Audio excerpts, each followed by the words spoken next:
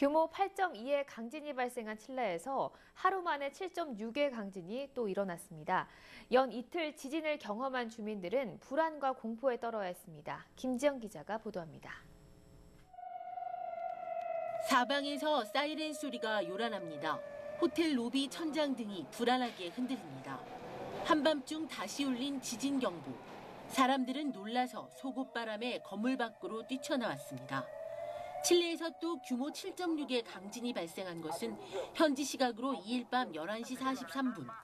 칠레 북부 항구 도시인 이키케에서 남쪽으로 19km 떨어진 지점입니다. 진원은 해저 40km 깊이로 칠레 북부 해안에 대피령이 내려졌고 지진 발생 직후 쓰나미 경보도 발령됐지만 곧 해제됐습니다.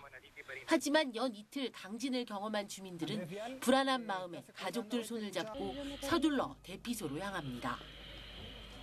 Menos, men- un poco menos que el de ayer, pero igual como no está en un quinto piso, se maquea fuerte.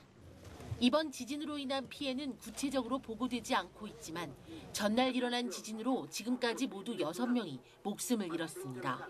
Todos quisiéramos que ojalá no haya nuevas réplicas ni nuevas necesidades de evacuación. Sabemos que si es necesario la gente está preparada y por lo demás las instituciones están trabajando unidas.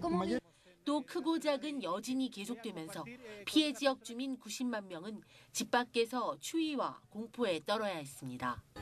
YTN 김지영입니다.